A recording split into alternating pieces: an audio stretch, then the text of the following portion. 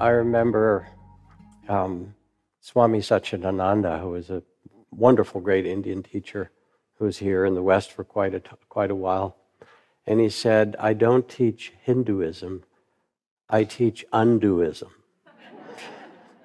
which is part of what you were describing, that we have all these condition, conditioning that we have, and you take it in. We're going to work a lot with the judging mind, actually.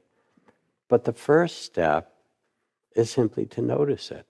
So here you are, and you say, I don't want to judge. I don't like judgment. Judgment is bad. I should not have so much damn judgment. It's awful, right? Help me get rid of this judgment. But what All is that? That's just more judgment, right? Yes. So then you kind of double it up.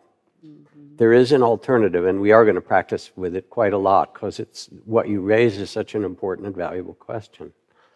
What helps is to acknowledge the judging mind. There are other techniques we'll add to it, and to be able to name it and say, "Oh, judging mind, thank you for your opinion." Right? Because it's full of opinions of how you should be and how you weren't. Thank you. You even know who programmed it in there. We won't talk about them, but you know that, right? Thank you. Thank you for trying to protect me. Thank you for trying to keep me safe and make me a better human being or whatever. Like you have to have a little humor about it, right? You can even put a costume on the judging mind and say, all right, if you were to draw a cartoon figure or or make somebody, you know, or someone into the figure of the judging mind, you could do that too. You see them. Oh yeah, thank you. Thank you for trying to help me. I'm okay actually. And in this process of, of presence in general, of being, of being really mindfully and, and lovingly present, amidst this onslaught of all of our emotions and, and emotional experiences, the missing ingredient, actually, the missing ingredient that is almost always there is this quality of self compassion. And this is what I'm going to be speaking of today this quality of self compassion.